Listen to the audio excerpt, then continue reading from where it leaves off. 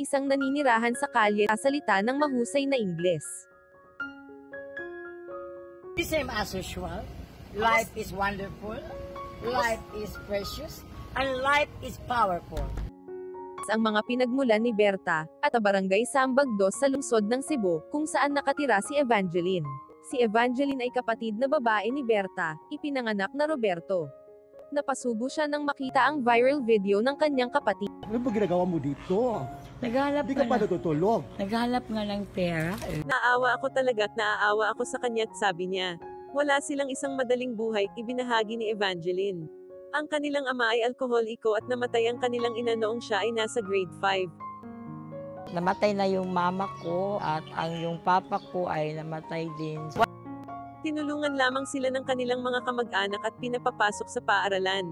Si Berta ay nag-aral sa kolehiyo at nagtatrabaho pa rin bilang isang guro ng ilang sandali. Kasi ko sa normal, yun, nakatanggap ako ng sweldo talaga.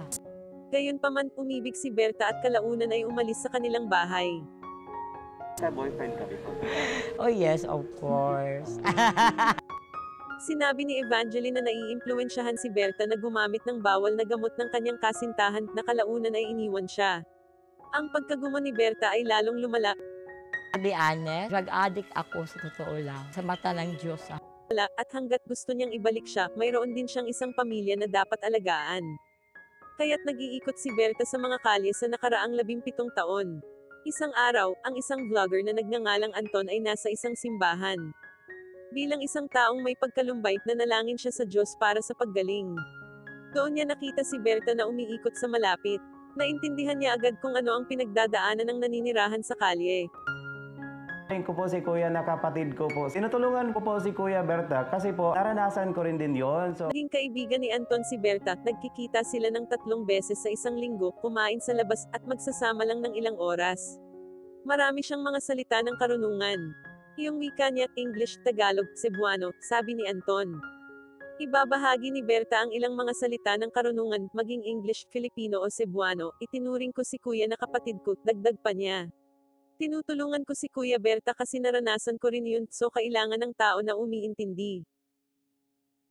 Kaya kong bitawan si Kuya Berta hanggat hindi ko matapos yung gusto kong tulong. Bless the man who shall Sabi ko sa sarili ko ayaw kong bitawan si Kuya Berta hanggat hindi ko natapos ang gusto kong tulong.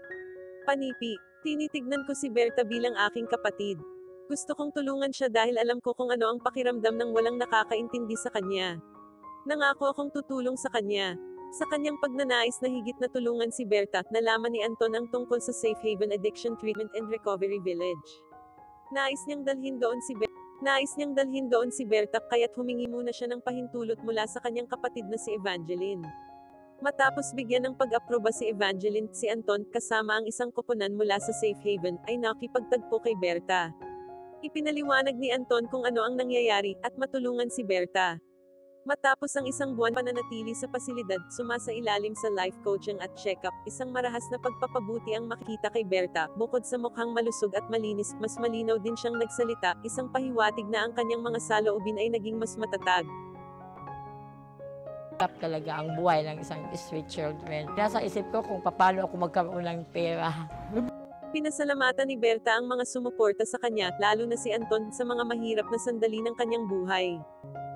I miss my sister Evangeline. Sana makalabas na ako dito. At Sinurpresa siya ng kanyang kapatid na si Evangeline sa pamamagitan ng pagbisita, at nagpapasalamat ang magkapatid sa pinakahihintay nilang muling pagsasama.